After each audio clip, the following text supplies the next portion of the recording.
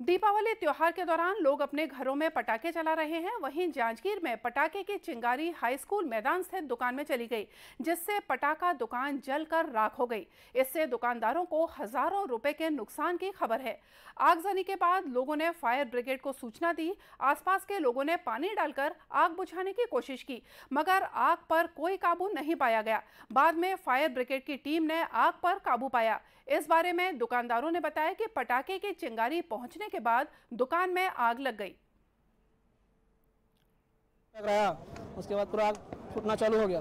उसके बाद पूरा बगल में अगल बगल चालू हो गया फूटना। उसके बाद हम लोग का दुकान लाट पर बचा समझ बगल वाला दुकान पूरा जल गया। और कुर्सी और टेबल वगैरह सब जल गया।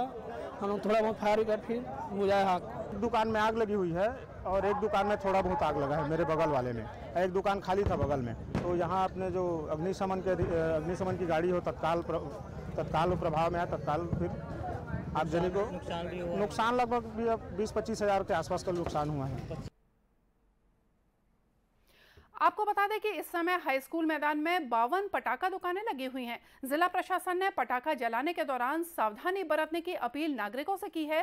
इसके बावजूद नियमों का पालन नहीं करने से इस तरह की घटना हुई है।